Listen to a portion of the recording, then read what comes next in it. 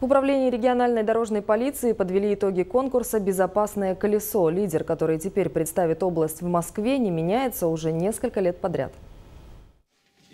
За звание главных знатоков правил дорожного движения в этом году боролись 19 команд. Кроме досконального владения теорией, им предстояло продемонстрировать умение оказать первую помощь и виртуозно управлять велосипедом. Причем условия, в которых юные инспекторы показывали мастерство фигурного вождения, были максимально приближены к уличным. В итоге второе и третье места заняли команды из Пестова и Хвойной. А отряд Новгородского района подтвердил статус сильнейшего в регионе. Золото ребята не уступили и в этом году.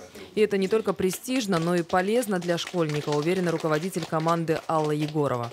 Когда на дороге случается дорожно-транспортное происшествие, в котором погибают дети, это, ну, наверное, самая большая проблема, большая беда, которая остается с людьми на всю жизнь. Так вот, чтобы этого не происходило, конечно, нужно дать детям определенные знания и умения для того, чтобы их жизнь была долгой, счастливой, спокойной и радостной.